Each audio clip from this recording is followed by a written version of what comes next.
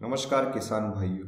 आज हम हमारे किसान भाइयों के लिए एक ऐसे फल की खेती को लेकर आए हैं, जिसका बाज़ार में भाव 400 से 600 रुपए प्रति किलो तक रहता है, जिसकी खेती से हमारे किसान भाई एक हेक्टर में लाखों रुपए तक कमा सकते हैं और अपनी आय को आसानी से 10 गुना तक बढ़ा सकते हैं। फल का नाम है एवाकाडो। तो किसान भाइयों आज हम इस वीडियो में एवाकाडो की खेती शुरू कैसे करें व इसकी खेती शुरू करने के पहले हमें किन किन बातों का ध्यान रखना चाहिए इस पर एक विस्तृत चर्चा करेंगे। वीडियो को लास्ट तक ज़रूर देखना क्योंकि एवाकाडो की खेती से जुड़ी हुई ऐसी जानकारी आपको यूट्यूब पर कहीं नहीं मिलेगी। तो बिना समय नष्ट किए वीडियो को शुरू करते हैं। चलो भाई देखो अब मैं क्या करता हूँ। किसान भाइयों एवाकाडो की खेती कैसे करें इस विषय को अच्छे से समझने के लिए मैंने वीडियो को दो पार्ट में डिवाइड किया है। पहला पार्ट, इसमें हम देखेंगे कि एवाकाडो की खेती के लिए उपयुक्त परिस्थितियाँ, जैसे तापमान, नमी, वर्षा, व उपयुक्त मिट्टी कैसी होनी चाहिए, और एवाकाडो का एक पेड़ कितना उत्पादन देता है और कितने सालों तक देता है, और इसका बाज़ार में क्या भाव है। दूसरे पार्ट में हम देखेंगे कि एवाकाडो के बीज को बोने का सही तरीका और बीज से पौधा लेने की अमेरिकन टेक्निक। व पौधा लगने के बाद ट्रांसप्लांट और इसकी ड्राफ्टिंग की उचित विधि। मैं उम्मीद करता हूँ कि इन दोनों पार्ट को देखने के बाद आपको एवाकाडो की खेती कैसे करते हैं, इसकी पूरी जानकारी मिल जाएगी। इस वीडियो में हम पार्ट वन पर बात करेंगे।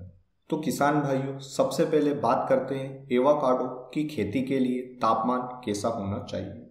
एवाकाडो दक्षिण अमेरिकी उपमहाद्वीप में पाए जाते हैं। इसलिए इन्हें उष्ण कटिबंध जलवायु की ज़रूरत होती साठ फ़ीसद से अधिक नमी सही 20 से 30 डिग्री सेल्सियस का तापमान इसकी अच्छी पैदावार के लिए उपयुक्त होता है। वैसे तो एवाकाडो के वृक्ष अधिक ठंड को सहन करने में सक्षम होते हैं, लेकिन वे लगभग पाँच डिग्री सेल्सियस तक का तापमान ही आसानी से सहन कर पाते हैं।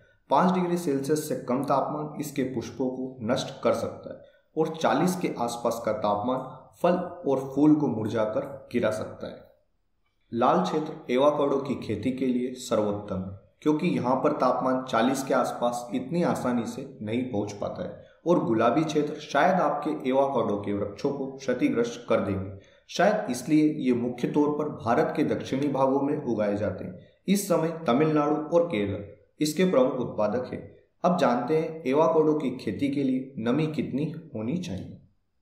एवाकोडो को 50 से 60 परसेंट नमी की ज़रूरत पड़ती है। पंजाब, हरियाणा, उत्तर प्रदेश के ऊपरी भाग, अधिकांश उत्तर पूर्वी राज्य और दक्षिण भारत के अधिकांश पूर्वी और पश्चिमी तट इसकी खेती के लिए उपयुक्त होते हैं। किसान भाइयों, अब जानते हैं एवाकाडो की खेती के लिए कितनी वर्षा होनी चाहिए। एवाकाडो की पैदावार के लिए 100 सेंटीमीटर प्रति वर्ष से अधिक वर्षा की ज़रूरत होती है।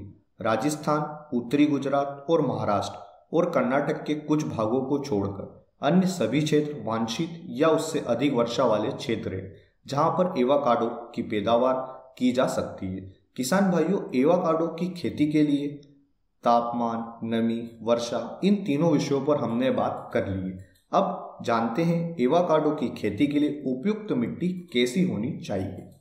लाल मिट्टी एवाकाडो की पैदावार के लिए अच्छी नहीं होती।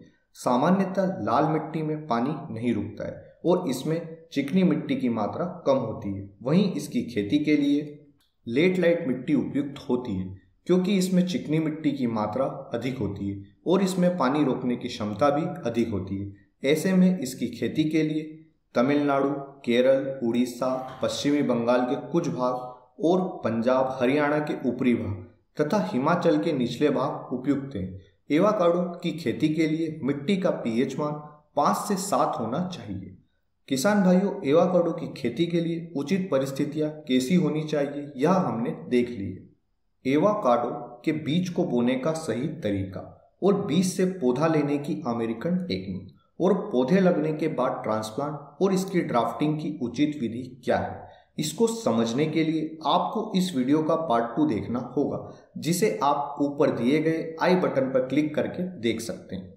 किसान भाइयों, अब बात करते हैं एवाकाडो का एक पेड़ कितना उत्पादन देता है और कितने सालों तक देता है। वह बाज़ार में एवाकाडो का भाव क्या रहता है? तो किसान भाइयों एवाकाडो का एक पेड़ जब फल देना शुरू करता है तो शुरू के दो साल आपको एक पेड़ से दो केजी फल मिलेंगे। तीसरे साल यह आंकड़ा आठ किलो तक पहुंचेगा और फिर दसवें साल तक यह आपको लगभग डेढ़ क्विंटल फल देने लगेगा। एक पेड़ की उम्र लगभग पचास साल होती है और बहुत ही कम देखरेख आपको इनकी करनी पड़ती है। बाज़ार में इसकी अच्छी मांग है। चंडीगढ़ और दिल्ली में यह फल 400 से 600 रुपए प्रति किलो तक बिकता है। किसान भाइयों, एवाकाडो की खेती कैसे करें, इस पर यह हमारा पहला पाठ था, जिसमें हमने बताया कि एवाकाडो के लिए उचित परिस्थितियाँ कैसी होनी चाहिए। इसका पार्ट टू आप हमारे चैनल पर जाकर देख सकते हैं। और मैं डिस्क्रिप्शन में भी लिंक डाल दूँगा, आप वहाँ पर जाकर भी इसे देख सकते हैं। या ऊपर दिए गए आई बटन पर क्लिक करके भी देख सकते हैं। इस वीडियो के पार्ट टू में हमने बताया है कि एवाकाडो के बीज को बोने का सही तरीका और बीज से पौधा लेने की अमेरिकन टेक्निक व पौधा लगने के बाद ट्रांसप्लांट और इसकी ड्राफ्टिंग की उचित विधि कौन सी है? किसान भाइयों वीडियो में दी गई जानकारी अगर अच्छी लगी है तो वीडियो को लाइक करें और हमारे चैनल को सब्सक्राइब करें। तो यह था हमारा एवाकाडो की खेती कैसे करें part one video part two आप एंड स्क्रीन पर जाकर भी देख सकते हैं। धन्यवाद किसान भाइयों, जय जवान, जय किसान।